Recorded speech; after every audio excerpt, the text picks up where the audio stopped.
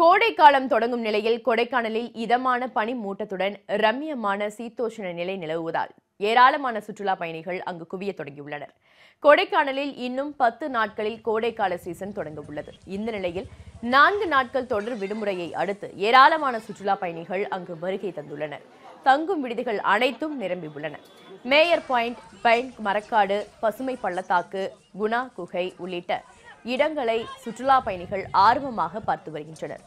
ஏரியில் படகு சவாரி செய்யும் இடத்திலும் கூட்டம் அதிகமாக காணப்படுகிறது. ரம்மியமான சூழ்நிலை உள்ள நிலையில் நேற்று மாலை ஒரு மணி நேரம் மிதமான மழை பெய்ததால் சுற்றுலா பயணிகள் மகிழ்ச்சியடைந்தனர். ஃபோர் டேஸ் லீவுக்காக வந்திருக்கோம். பசங்களை எல்லோரும் கூட்டிகிட்டு வந்தோம். ஃபேமிலியில் நல்லா பார்க்க வேண்டிய இடம். இங்கே நல்லா க்ளவுட்ஸ் நல்லா இருக்குது இங்கே லேக்கு போனோம். அதில் நல்லா இருந்துச்சு. நல்ல அனுபவமாக இருந்துச்சு. அதுக்கப்புறம் கேவ்ஸ் போனோம். நல்லா ஹைட்லேருந்து எல்லா வியூஸும் நல்லா பார்த்தோம். பசங்க நல்லா என்ஜாய் பண்ணாங்க. நீலகிரி மாவட்டத்தில் கோடை சீசன் சில தினங்களில் தொடங்க உள்ள நிலையில் தற்போதே பயணிகளின் வருகை அதிகரித்துள்ளது.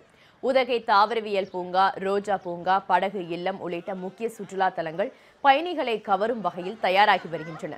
மலர் கண்காட்சி பழ கண்காட்சிக்கான பணிகளும் முழுவீச்சில் நடைபெற்று வருகிறது.